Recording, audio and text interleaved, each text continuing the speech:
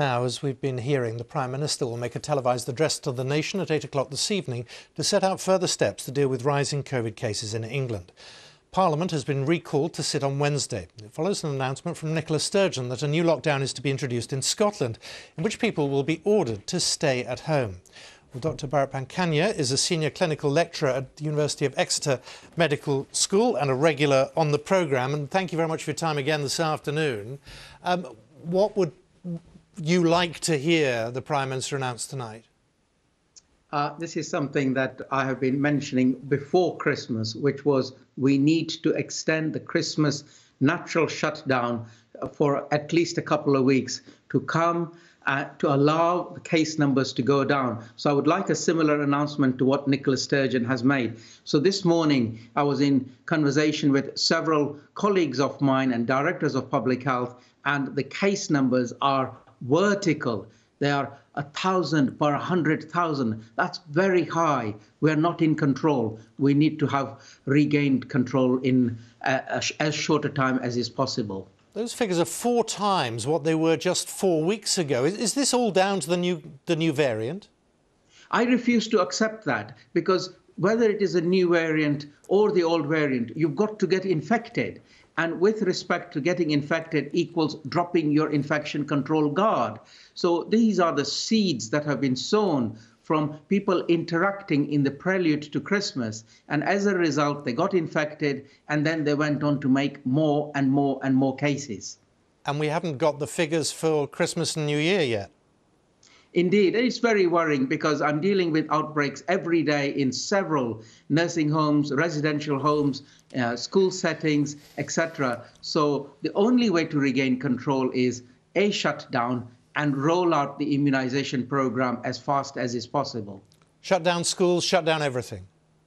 It is a pity, I have to say it in that way, but I do feel that we're not in control and I just feel this is a bit of a failing. We should have acted earlier, harder, faster. I just want to know what out of control actually means. What does it look like on the front line, in hospitals, in wards? What are nurses and doctors having to do that, that suggest to you that things are very clearly getting out of control? Okay, so let's take each item uh, in, in turn.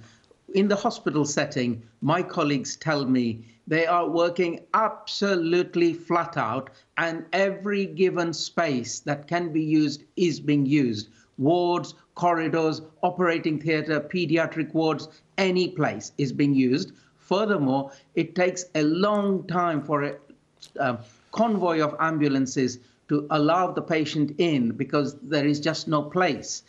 Then taking it to the nursing home situation, we are experiencing widespread number of outbreaks in these settings.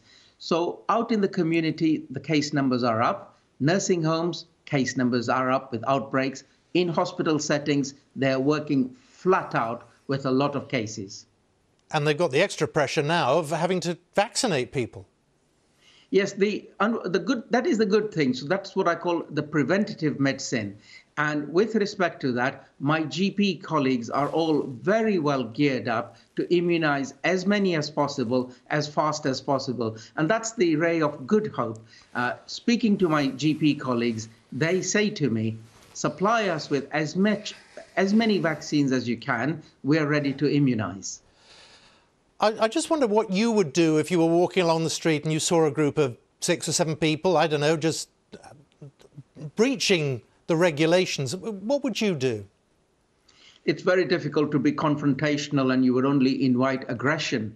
But what is required is stricter enforcement of you know why we're asking you to stay at home and that only comes from our leaders centrally that this is important this is serious it is breaking the country you will stay at home it is an order it's that sort of strict hard, fast messages that need to come from headquarters. Yeah, the, the message isn't so much that the virus is killing you, it, it's people that are killing you. It is. And it, you see, you, if you drop your guard, so people are almost getting away with saying it, our leaders I'm refer, refer, referring to, that it is the more infectious strain. I contend you've still got to get infected in the first instance. And to get infected in the first instance equals you are interacting with other people when you could have done wear your mask properly, don't interact, keep a low profile. Dr. Bharat Pankhania, always good to talk Thank to you. you. Thank you very much. Thanks for your time. Thank you.